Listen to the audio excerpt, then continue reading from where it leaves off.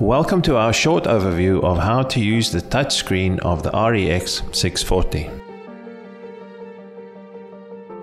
The interaction with the local HMI of the relay is designed to be very easy and intuitive.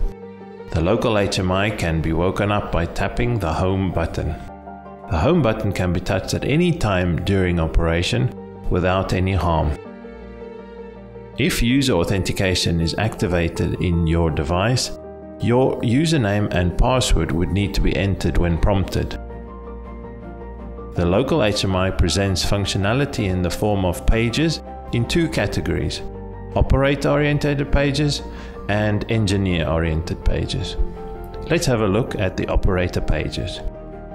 When pressing the home button for the first time, the first operator page will be visible, the so-called start page.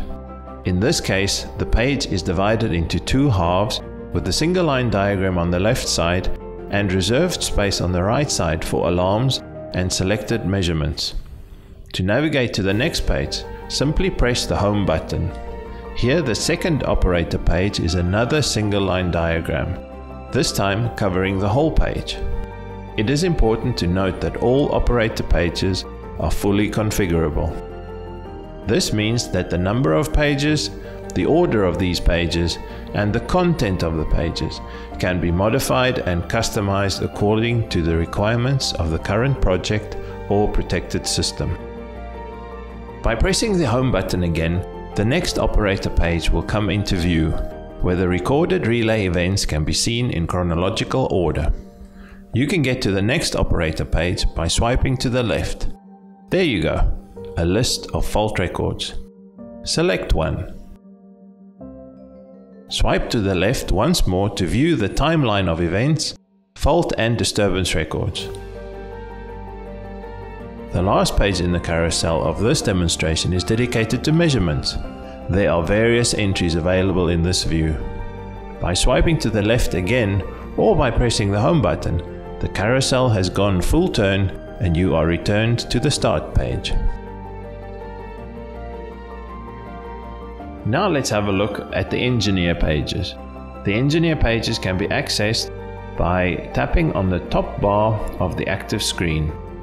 The engineer pages include specifically designed pages supporting relay parameterization, testing and commissioning activities, and troubleshooting.